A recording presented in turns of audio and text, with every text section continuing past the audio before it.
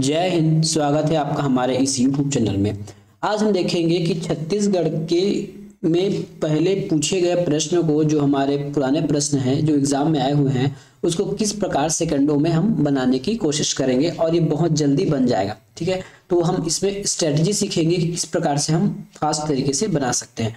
और जो आपने जो थंबनेल में बुक देखा है, वो बुक वो बुक भी बहुत अच्छा है। उस बुक से भी आप प्रश्न को सॉल्व कर सकते हैं। लेकिन और ज़्यादा अधिक स्पीड से सॉल्व करना है तो देखिए हम कैसे तरीका अपनाते हैं इसको सॉल्व करने का। चलिए सीधा शुरू करते हैं आज का प्रश्न। लंब वृत्त बेलन के आधार की त्रिज्या तथा ऊंचाई क्रमशः सात मीटर तथा दस मीटर है। बेलन का वक्र पृष्ठीय क्षेत्रफल क्या होगा? ये आज का हमारा पहला प्रश्न है। ठीक है? ये आज का पहला प्रश्न है। एक बेलन है, कोई इस प्रकार से बेलन है ना? बेलन तो आपको पता ही है, बेलन कैसे रहता है इस प्रकार से, ये जो आपका सिलेंडर है, उसको बेलन ही कहा जाता है ये आपका बेलन है, ठीक है? बेलन का दिया गया है, इसकी जो त्रिज्या है है ना? ये जो बेलन की जो त्रिज्या होगी, यहाँ तक ये है हमारा सेवन मीटर और जो इसकी हाइट होगी, है ना?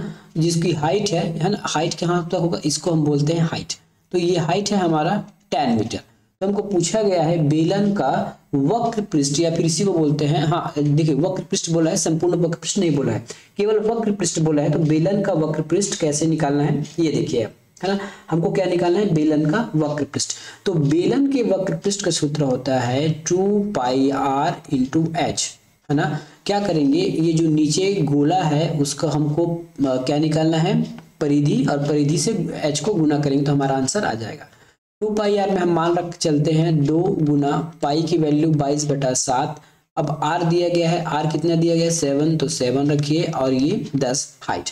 सात से ये सात गया, ठीक है? उसके बाद आप इसको गुना कर दीजिए। गुना करेंगे तो ये हो जाएगा बाईस दूनी चवालीस और चवालीस को आप सात से गुना कीजिए। ठीक है? बाईस गुना चवालीस और चवालीस को सात से गुना कर दीजिए। सॉरी, हमने यहाँ एक साथ एक्स्ट्रा लिख दिया क्या? पाई आर स्क्वायर नहीं है ना तो ये साथ हमने एक्स्ट्रा लिख दिया है। ये साथ हमने एक्स्ट्रा लिख दिया है। तब हमारा आंसर क्या होगा? ये देखिए, बाईस दूनी चौवालीस चौवालीस और दस का गुना करेंगे तो ये हो जाएगा चार सौ चौवालीस। चार सौ चालीस हो जाएगा।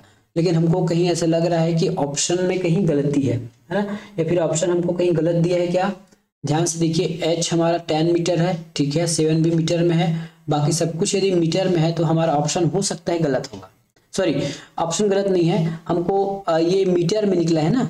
ये हमारा मीटर में निकला है, लेकिन हम, ये मीटर स्क्वायर में निकला है और हमारे पास ऑप्शन है सेंटीमीटर में। अब मीटर से सेंटीमीटर चेक करेंगे तो हमको कितना सौ सौ से गुना करना होता है। जब भी मीटर से हम सेंटीमीटर में गुना करेंगे तो हमको इस वैल्यू को सौ से गुना करना होगा, अर्थात 440 गुना 100 तो ये हो जाएगा 440 और ये ट्रिपल ज़ीरो तो ये हमारा आंसर कहाँ पे है? चवालीस ट्रिपल ज़ीरो कहाँ पे मिलेगा?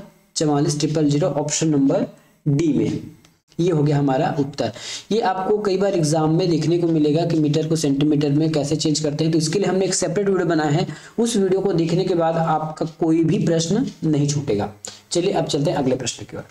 यदि ए बी तथा सी डी त्रिज्या, ठीक है? यदि ए बी तथा सी डी त्रिज्या सात सेंटीमीटर देखिए, कई बार ना प्रश्न को पढ़ने में भी आपको दिक्कत हो सकता है। ये देखिए, यहाँ तक पढ़िए। यदि ए बी तथा सी डी त्रिज्या सात सेंटीमीटर वाले वृत्त के दो लंब व्यास है है ना? तो देखिए, ये ए बी है और ऊपर दिया गया है सी डी इनका ये क्या है? ये व्यास है, ठीक है? तो व्यास की त्रिज्या कितनी है? व्यास की त्रिज्या सेवन है तो डी बराबर हो जाएगा हमारा चौदह। मतलब ए बी और सी डी की जो लंबाई है, वो चौदह है। ठीक है, चलो, अब समझ में आ गया। ठीक है तो इस इमेज को देखिए और जो छायांकित भाग का आपको क्षेत्रफल निकालना है, ठीक है? ये मैंने थोड़ा सा छोटा बना दिया है इमेज को। आप थोड़ा सा इसको बड़ा करने का फ़िलहाल कोई गुंजाइश तो नहीं दिख रहा है। देखता हूँ अगर बड़ा हो जाएगा तो। हो जाएगा, है ना? ये इस प्रकार से। ये हमने बड़ा कर लिया। अब देखिए इसको कैसे सेट करना है। ठीक है, हमको इस छायांकित भाग का निकालना है क्षेत्रफल। तो अब क्या करेंगे? पहले पूरे वृत्त का क्षेत्रफल निकालेंगे।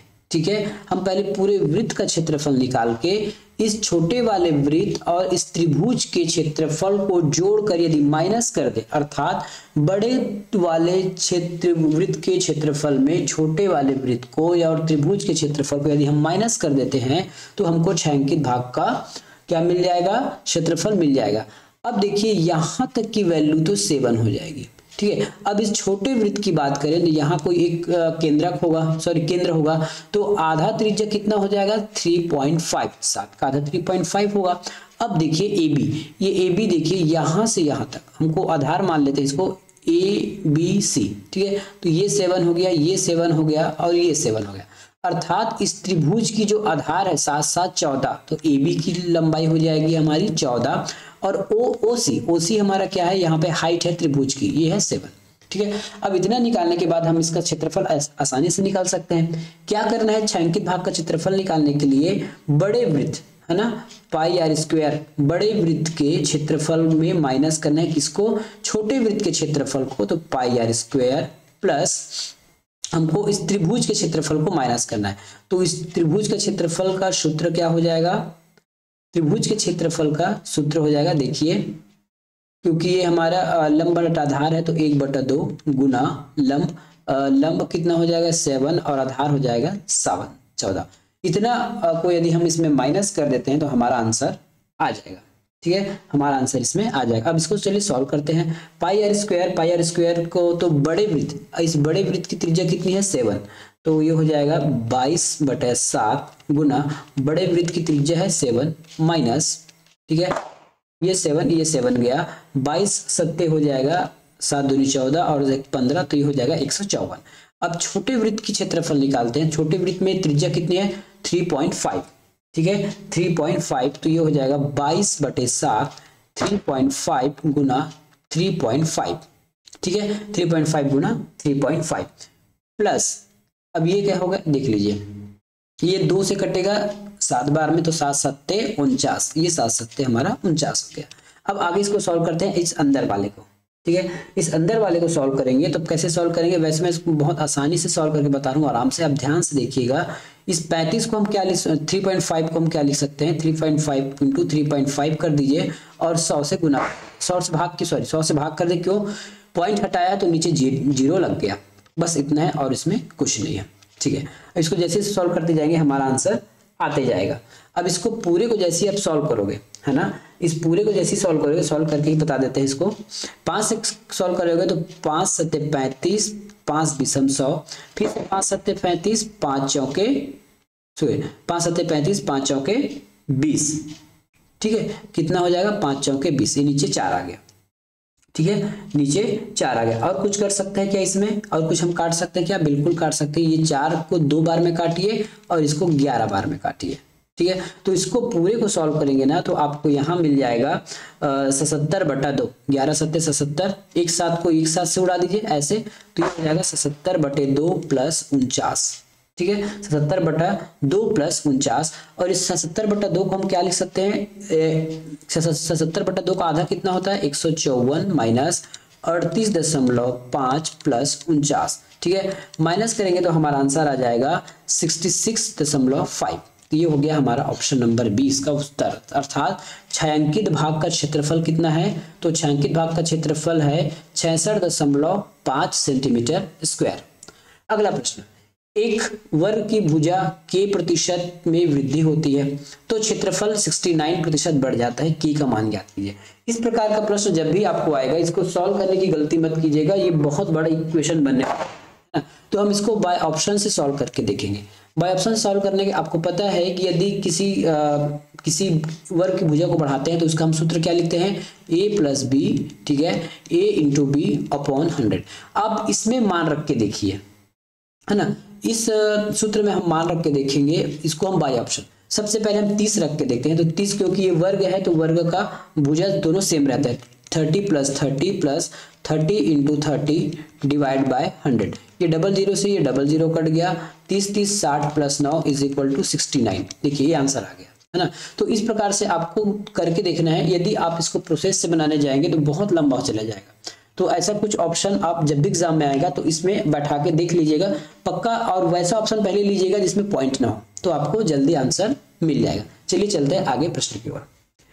एक सम चतुर्भुज के विकर्ण है 80 सेंटीमीटर तथा 60 सेंटीमीटर समचतुर्भुज का परिमाप ज्ञात कीजिए। समचतुर्भुज की प्रॉपर्टी आपको पति होना चाहिए, ठीक है? मैं एक सम चतुर्भुज बना रहा हूँ, इसकी प्रॉपर्टी आपको पता होना चाहिए। सम चतुर्भुज की प्रॉपर्टी ये होती है कि इसका जो विकर्ण है, आपस में 90 डिग्री पर काटता है, ठीक है? आपस में 90 डिग्री पर काटता है, साथ में इस विकर्ण को बराबर इक्वल इक्वल पार्ट में ये जो केंद्र से जो निकलेगा ना तो ऊपर भी सेम सेम डिस्टेंस और नीचे भी सेम डिस्टेंस में ये करता है। चलिए, अब इसको और सॉल्व करते हैं।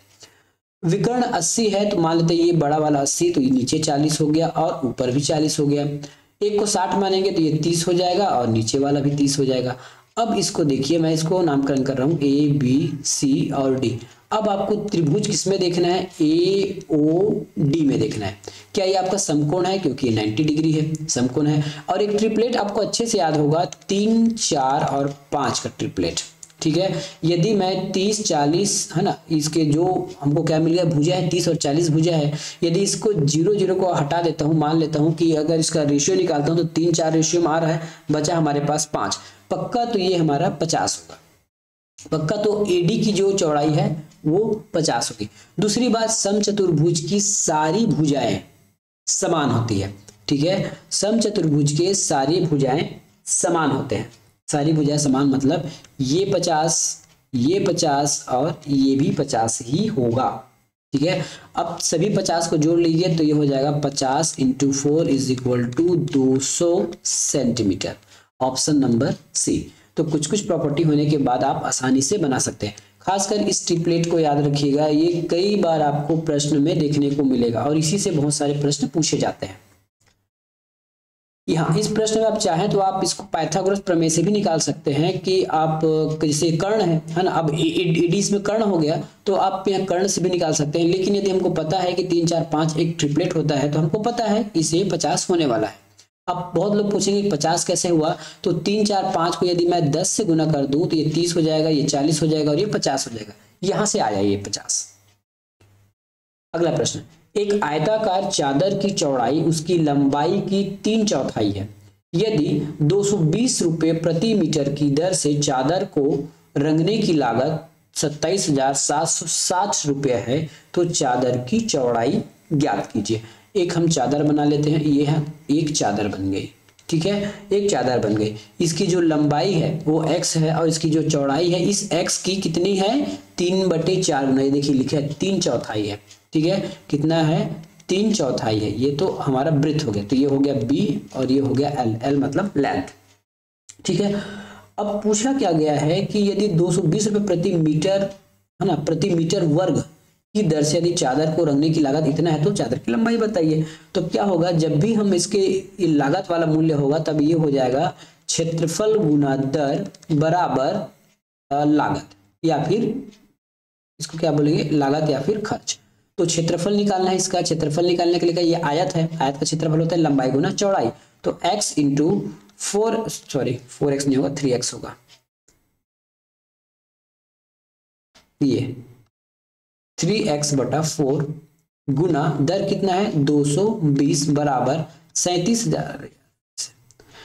सत्तेईस हज़ार सात सौ साठ। ठीक है? अब इसको सॉल्व करेंगे तो हमारा आंसर x की वैल्यू आएगी और x की वैल्यू हम यहाँ रख के इसको सॉल्व कर लेते हैं। ठीक है? इसको शॉर्टकट में और कैसे बनाया जा सकता था? मैं लास्ट में बताऊँगा, लेकिन शॉर्टकट इसमें फ़िलहाल इस प्रश्न में काम नहीं करेगा। ठीक है? अब इसको हम गुना करेंगे तो हो जाएगा ऊपर three x square. Three x square नीचे चार है गुना चार सौ बीस। चार इस चार से इसको काट सकते हैं क्या? चार से इसको नहीं काट सकते।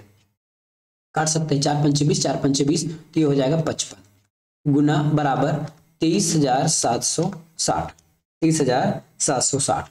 ये हो जाएगा आपका एक्स स्क्वायर। एक्स स्क्वायर हो जाएगा। और ये तेईस हज़ार सात सौ साठ में अब गुना कीजिए किसको? आ, हमारे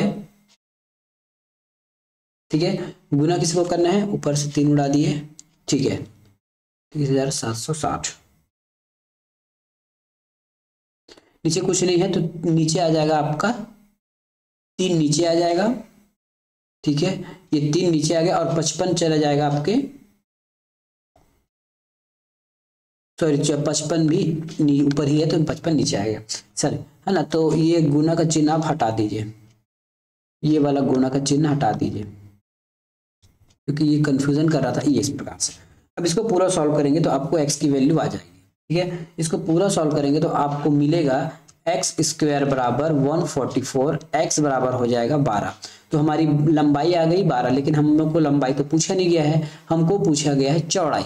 तो चौड़ाई निकालते हैं, चौड़ाई हमको पूछा गया है तो ये हो जाएगा थ्री तीन बटा चार एक्स बराबर तीन बट, तीन बटा चार गुना बारह चार तिया बारह, तीन तिया नौ। तो ये हो जाएगा हमारा नौ मीटर। ठीक है? ये आंसर हो जाएगा हमारा नौ मीटर। इसको भाई ऑप्शन से नहीं बना सकते, क्योंकि अगर हम तीन से को काटने की कोशिश करेंगे तो सारा वैल्यू तीन से कट रहा है। इसलिए हम इसको तीन से काट कर नहीं बना सकते। केवल नौ होता, केवल छह होता, केवल तीन होता, तीन से कटने वाले केवल एक ऑप्शन होता था तब हम उसको बाई ऑप्शन बना सकते थे, क्योंकि इसमें बाई ऑप्शन नहीं बना पाएँगे।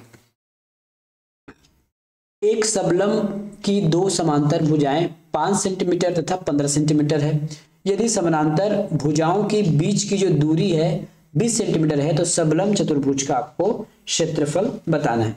सबलम चतुर्भुज का क्षेत्रफल का सूत्र क्या होता है? तो क्षेत्रफल का सूत्र होता है सबलम चतुर्भुज का एक बटा दो दो समानांतर भुजाओं का योग, दो समांतर भुजाओं मतलब इसमें दो दो भुजा है एक पाँच सेंटीमीटर है और एक पंद्रह सेंटीमीटर है तो फाइव प्लस पंद्रह गुना इसका ऊंचाई ऊंचाई मतलब हाइट या फिर दूरी इसी को कहा जाता है तो ये बेस इस प्रकार से आपको एग्ज़ाम में बनाना है, केवल पूरा सूत्र लिखते नहीं बैठना है पेपर में, है ना? सूत्र आपके दिमाग में होना चाहिए कि इतने में आपका काम चल जाए। एक बटा दो गुना पाँच और पंद्रह हो जाएगा बीस गुना बीस। ठीक है? दो से काटेंगे तो ये दस बार में कटेगा। दो से काटेंगे तो ये दस बार में कटेगा। बच जाएगा हमारा दस दूनी बीस और ये दो सौ। तो ये ऑप्शन आप लगा लीजिए दो सौ सेंटीमीटर ये हमारा आंसर हो गया। अगला प्रश्न, एक आयताकार मैदान की जो लंबाई है तथा चौड़ाई अनुपात में दो और एक है। यदि मैदान का क्षेत्रफल, ठीक है, यदि मैदान का क्षेत्रफल ग्यारह बावन सेंटीमीटर स्क्वायर है तो सात रुपये प्रति मीटर की दर से मैदान की बाउंड्री की फेसिंग करने का मूल्य कितना होगा? ये देखिए। ये मैदान हम मान लेते हैं। अब हमको फेसिंग करने का मूल्य कहा गया है। मतलब क्या होगा? इसके परिमाप में हम क्या गुना करेंगे? इस दर को गुना करेंगे। सात रुपये को। तो हमारा आंसर आ जाएगा। ठीक है? यदि हम परिमाप में सात रुपये को, सात को गुना करेंगे तो हमारा आंसर इसमें आ जाएगा। अब इसमें एक ऑप्शन ये हो सकता है कि आप इसमें ऑप्शन से बना के देख लीजिए कि कौन सा वैल्यू सात से कट रहा है। यदि एक से ज़्यादा वैल्यू सात से कटे तो आपका आंसर इसमें नहीं बैठ आप इसको शॉर्टकट में नहीं बना पाओगे। ठीक है? इस प्रश्न में यदि आप सात से इसको काटने जाएँगे तो सात से आपका ऑप्शन ए भी कट जाएगा ऑप्शन सी भी कट जाएगा। तो हमारा आ, काम बढ़ गया अब हमको केवल इसको प्रोसेस से ही बना के देखना होगा।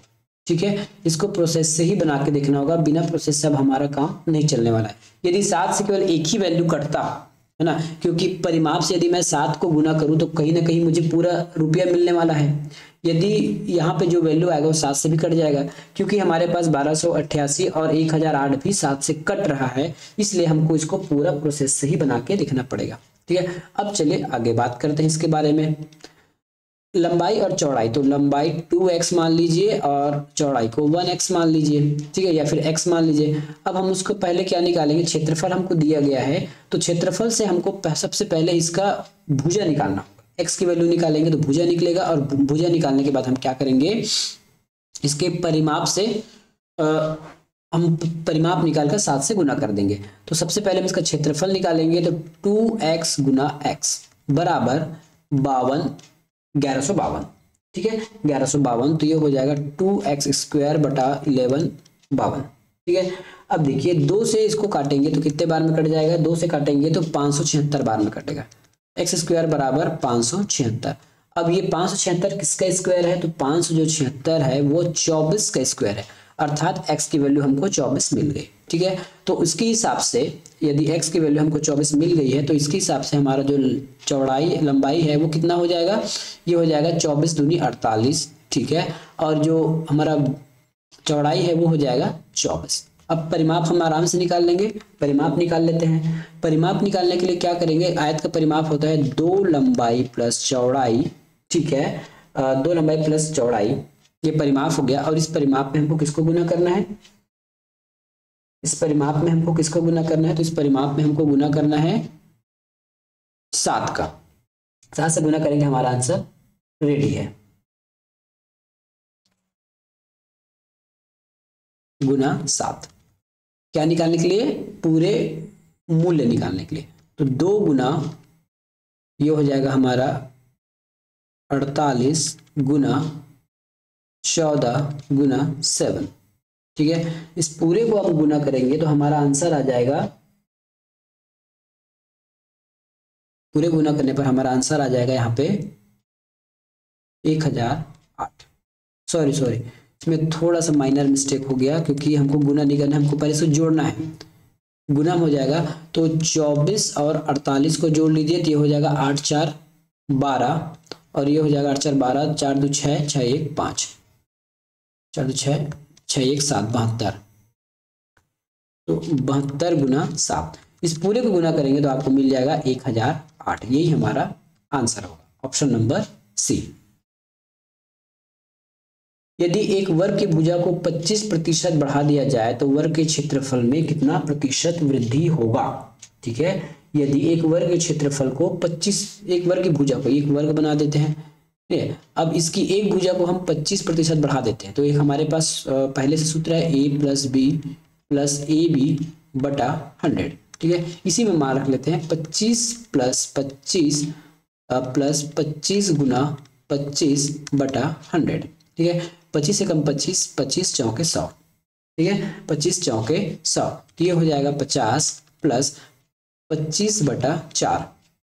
पच्चीस बटा चार। और पच्चीस बटा चार को हम क्या लिख सकते हैं? पचास प्लस छ दशमलव पच्चीस। ठीक है? तो ये हमारा हो जाएगा छप्पन दशमलव पच्चीस। आंसर हो जाएगा तो उस वर्ग में उस वर्ग की जो क्षेत्रफल है, वो छप्पन दशमलव पच्चीस प्रतिशत की वृद्धि देखने को मिलेगी।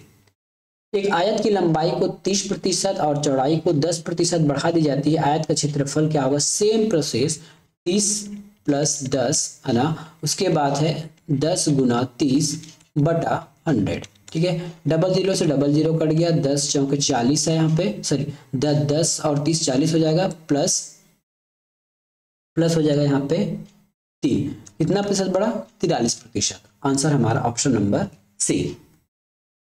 सात इकाई वाले आधार और बीस इकाई वाले ऊंचाई को देखते हुए एक समकोण त्रिभुज का क्षेत्रफल कितना होगा? एक समकोण त्रिभुज बना लीजिए इस प्रकार से। ठीक है? तो सात इकाई वाले आधार, ये सात इकाई वाले आधार है। बीस इकाई ऊंचाई को देखते हुए, बीस इकाई वाले ऊंचाई तो इसकी ऊंचाई हो गई। अब इसका हमको क्षेत्रफल पूछा है। सिंपली है, क्षेत्रफल कैसे निकालते हैं? समकोण त्रिभुज का एक बटा दो आधार गुना ऊंचाई, या फिर बे, बेस इंटू हाइट कर लीजिए।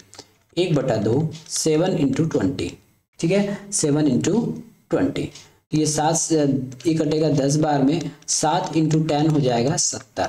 तो ये हो जाएगा सत्तर वर्ग इकाई। उत्तर। दस सेंटीमीटर भुजा वाले एक संबाहु त्रिभुज का क्षेत्रफल ज्ञात कीजिए। बहुत इजी प्रश्न है। संबाहु त्रिभुज का क्षेत्रफल का सूत्र होता है अंडर रूट थ्री बटा फोर ए स्क्वायर ठीक है? तो अंडर रूट थ्री हो जाएगा फोर हो जाएगा। ए की वैल्यू क्या दिया गया है? दस सेंटीमीटर तो दस इंटू दस। ठीक है? ये पड़ जाएगा हमारा पाँच बार में। दो का फिर ये पाँच बार में।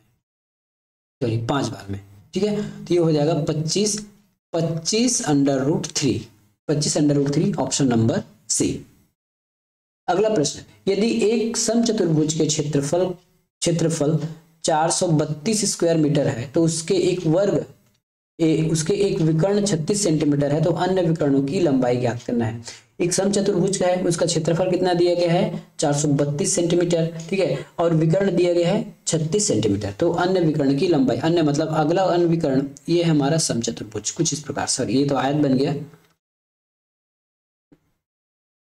ये आयत बन गया। सम चतुर्भुज कुछ इस प्रकार से बनाते हैं। ठीक है, ये सम चतुर्भुज मान लीजिए इसको। अभी भी नहीं बना। एक ड्रॉ करके देखते हैं, कोई हमारे समचतुर्भुज यहाँ मिल जाए तो। नहीं है बनाना ही पड़ेगा समचतुर्भुज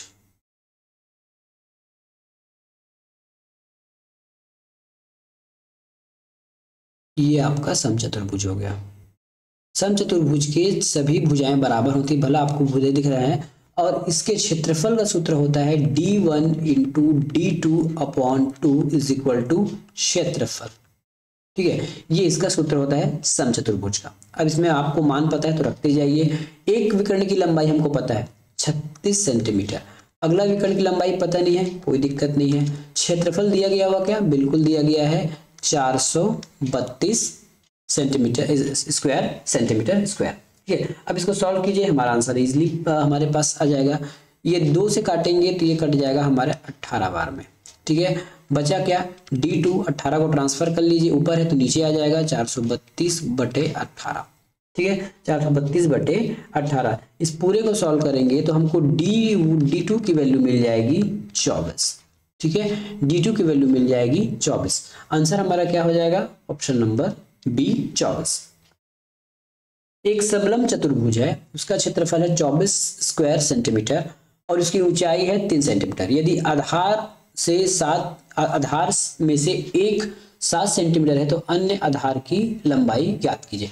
सबलम चतुर्भुज का क्षेत्रफल क्या किसी को पता है? क्या पहले तो सबलम चतुर्भुज हम बना लेते हैं।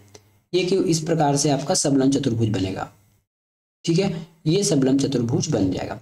इसका क्षेत्रफल हमको दे दिया गया है चौबीस सेंटीमीटर स्क्वायर इसकी ऊंचाई बना लेते हैं ये ऊंचाई है। ठीक है? कितना है? तीन सेंटीमीटर आधार से एक भुजा हमको दिया गया है सात। कोई किसी एक को सात मान लीजिए, ठीक है? किसी एक को हम सात मान लेते हैं। वैसे छोटा बड़ा इसलिए मानना मुश्किल हो रहा है, किसी एक को मान लेते हैं। ये सात है तो हमको ये वाला ज्ञात करना है, या नीचे मानेंगे तो ऊपर वाला ज्ञात करना होगा, ठीक है? अब चलिए हम इसको निकालते हैं। सबलम चतुर्भुज का क्षेत्रफल क्या होता है?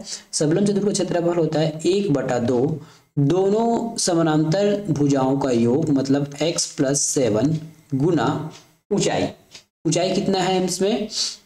ऊंचाई दिया गया है तीन, और क्षेत्रफल दिया गया है क्या? क्षेत्रफल दिया गया है। जब भी ऐसा पूछेगा ना तो आपको कंपेयर करने के लिए कोई वैल्यू दी होती है। कंपेयर करने के लिए हमको चौबीस इसका क्षेत्रफल दिया हुआ है। अब इसको हम आगे सॉल्व करते हैं। ठीक है? अब इसको सॉल्व करते हैं। तो ये एक बटा दो हो जाएगा। एक बटा दो,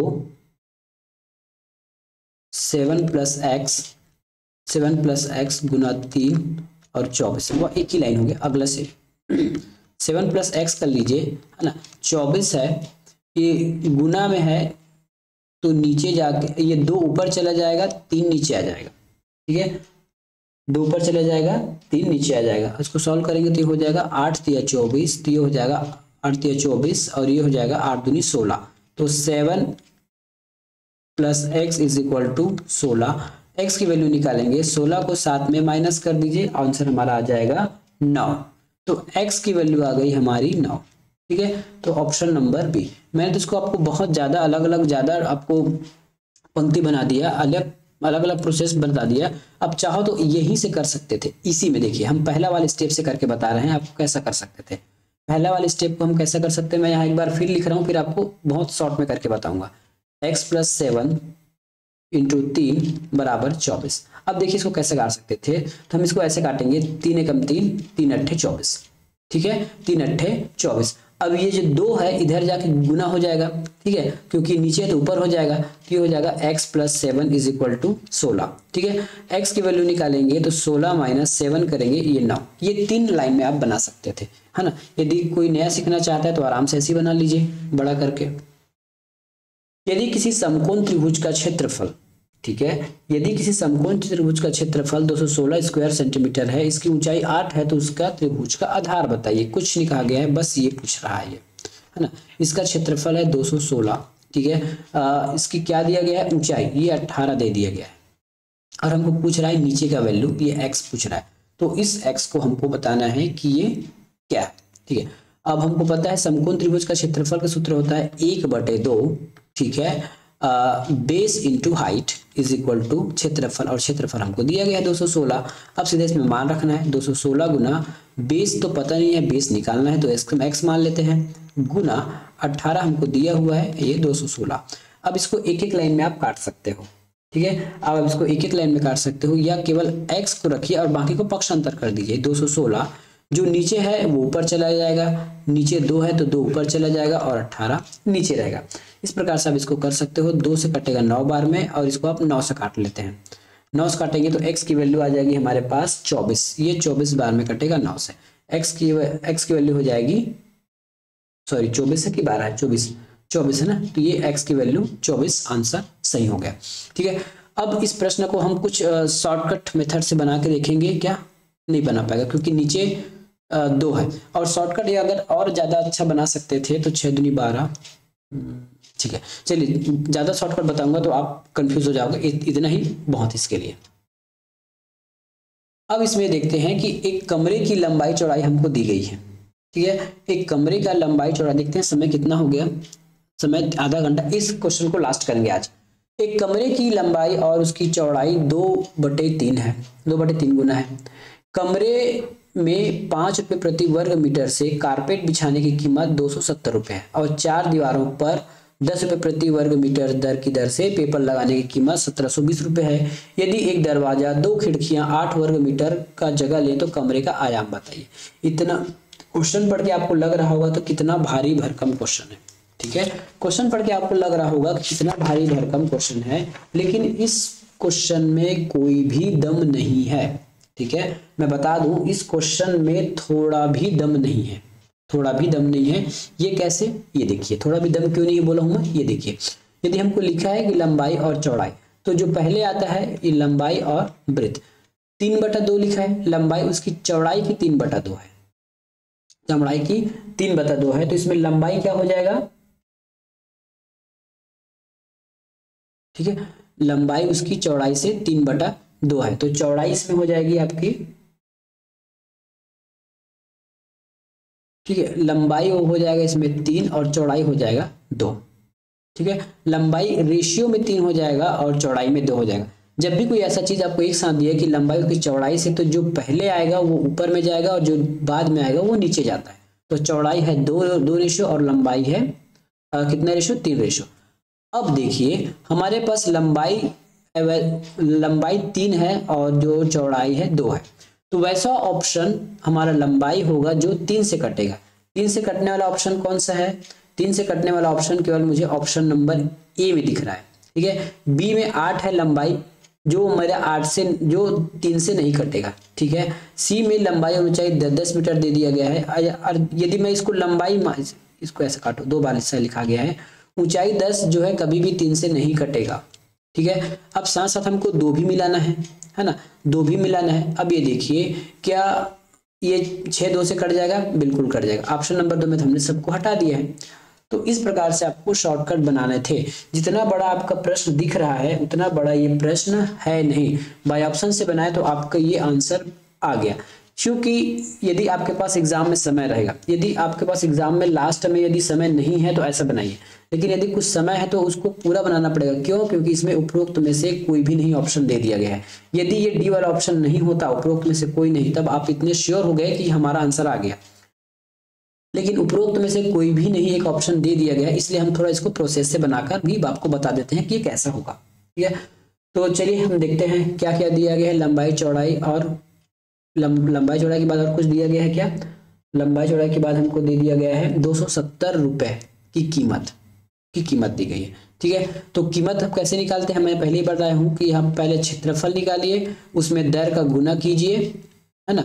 दर का गुना कीजिए और उसके बाद आपको रुपये निकालिए। ठीक है? तो लंबाई चौड़ाई कितना हो जाएगा इसका? लंबाई चौड़ाई हो जाएगा तीन बटा दो, है ना? तो ये हो जाएगा थ्री, तीन बटा दो एक्स स्क्वायर गुना एक्स गुना दर कहीं लिखा है क्या दर पाँच। तो ये दर पाँच ले लिया मैंने। और कितना खर्च हो रहा है? दो सौ सत्तर। बस इतने में ही आपका मान निकल जाएगा, इसमें भी, ठीक है? इसमें भी इतने में ही मान निकल जाएगा। तीन स्क्वायर, इस एक्स के इस, ये वाला एक्स ये वाला एक्स गुना हो जाएगा, थ्री एक्स स्क्वायर हो जाएगा। दो सौ सत्तर है, नीचे का ऊपर और ऊपर का नीचे कर दीजिए। नीचे दो है, ठीक है, ये दो ले लेते हैं। और नीचे में क्या है? ऊपर में क्या था? तो तीन और पाँच। है तो इस तीन को भी ट्रांसफ़र ले लीजिए, तीन को ला लीजिए और पाँच को ला लीजिए। बस इतना करने पर आपको एक्स का स्क्वायर आ जाएगा। एक्स का स्क्वायर आपको मिलेगा यहाँ पे छत्तीस। ठीक है? पूरे को सॉल्व करेंगे तो आपको छत्तीस यहाँ पे मिलेगा। और x की वैल्यू आ जाएगी आपकी छ ठीक है? देखिए अब एक्स की वैल्यू छ आ गई। ठीक है? एक्स की वैल्यू छ आ गई। x मतलब चौड़ाई छ आ गया। क्योंकि हमने क्या माना था? यहाँ पे मैंने आपको रेशियो निकाल के बताया था, लेकिन लंबाई यहाँ पे कितना था? तीन बटा दो था और जो चौड़ाई कितना था? छ था। देखिए, चौड़ाई छ आ गया तो हमारा आंसर ऑप्शन नंबर ए है। तो इतना ज़्यादा जो लिखा है कि दीवार लिखा है, कीमत लिखा है, खिड़की लिखा है, दरवाज़ा लिखा है, इससे कोई मतलब नहीं है ना? इतना बड़ा प्रश्न आप चुटकियों में सॉल्व कर सकते हो। मिलेंगे नेक्स्ट वीडियो में। धन्यवाद।